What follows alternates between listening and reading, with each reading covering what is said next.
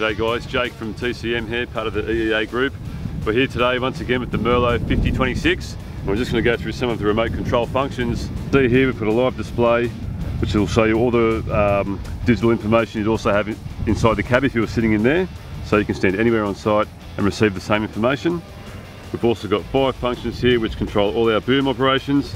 Telly out, telly in, tilt back and forth.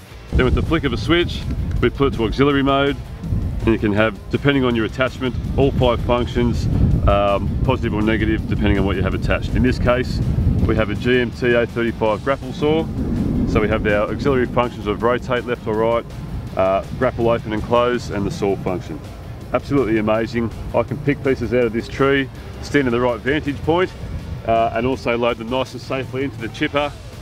Anywhere on site, remote control, I've got full control of the job, Mate, how good's that? This is an absolute game changer.